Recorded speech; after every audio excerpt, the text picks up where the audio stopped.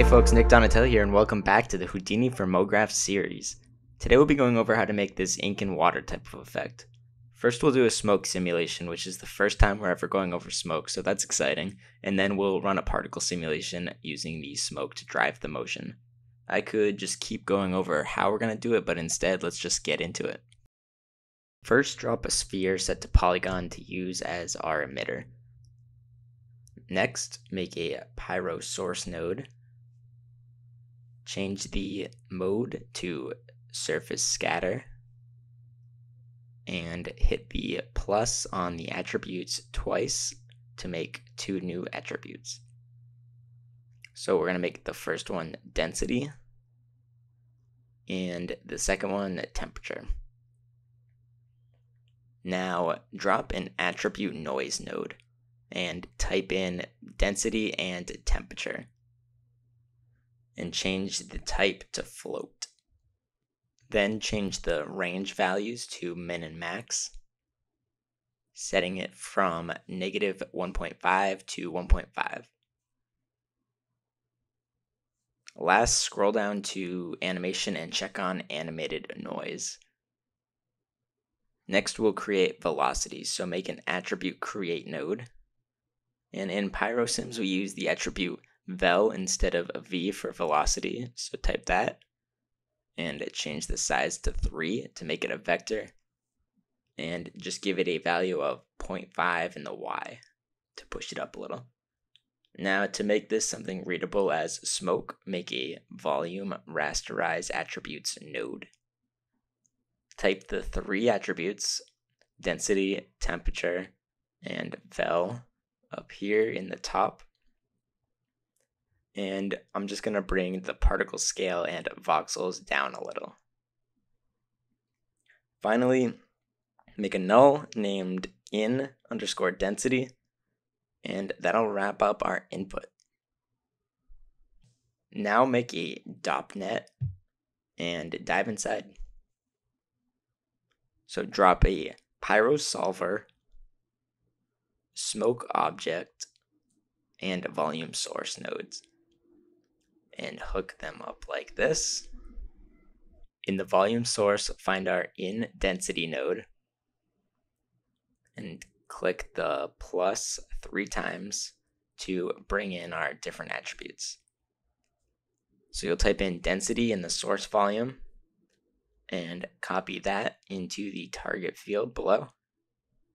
And now just do the same for temperature and for vel. For vel though, change the rank to vector. Now go to the smoke object and expand the bounding box a bit. And if you hit play, you can see that the sim just gets cut off. So there's a node that'll actually recalculate the bounding box so that it'll grow with our simulation. And that's called gas resize fluid dynamic. So drop that and hook it into the pre-solve head up this max bounds tab and uncheck clamp to max and slide up this delay frames to just one. Now if you hit play, you can see we've got a smoke sim. I'm to just tweak the look a little bit now. So I'm to go bring the buoyancy lift down to about 1.5. In the combustion tab, I'm to disable that since we don't actually need fire happening. And in shape, I'm going to check on disturbance and turbulence. So you're definitely going to want to take the time to mess around with these individual values so you can kind of understand what they do and how they affect the look of the smoke. But for now, I'm just going to set the disturbance and the dissipation both to 0.05 and set the turbulence to 0.075. Now if you hit play,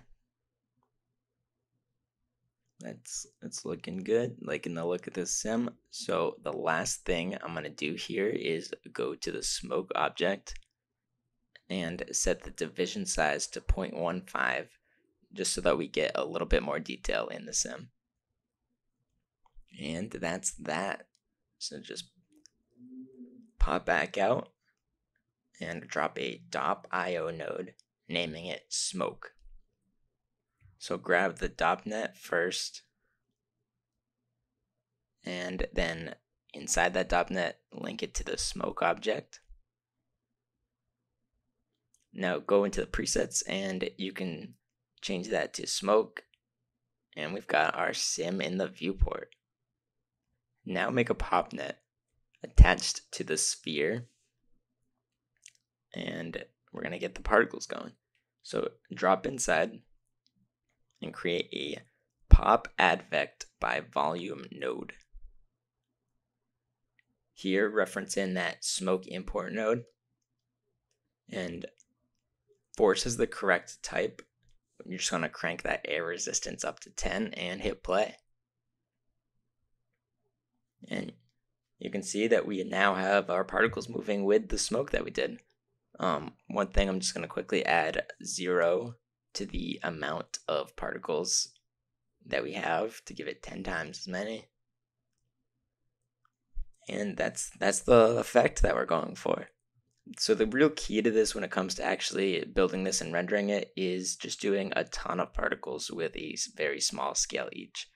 In my example, I had the birth rate set at a million, but honestly, you'd want to do even more than that if you're going for like a real photo photorealistic look. So there you have it. Mess around with the values in the smoke sim for different looks.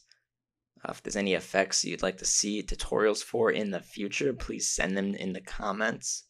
The project files for this are up on the site. Hope you enjoyed this one, and until next time.